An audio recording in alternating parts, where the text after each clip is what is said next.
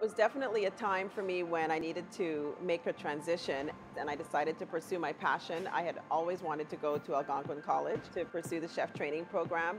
Algonquin helped me to establish certain fundamentals, understand more about the science and some of the biochemistry around cooking, which was great for me to merge with my engineering background.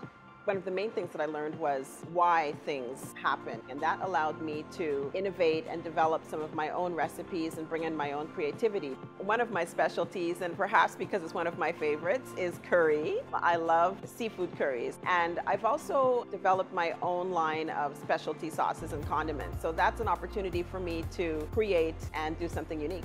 It was really wonderful for me to be able to connect with my profs after I graduated. If I reached out to anybody and I had a question or I needed contact, they were all always available. They all have their own different skill sets and experience, and they've all been so generous in sharing that.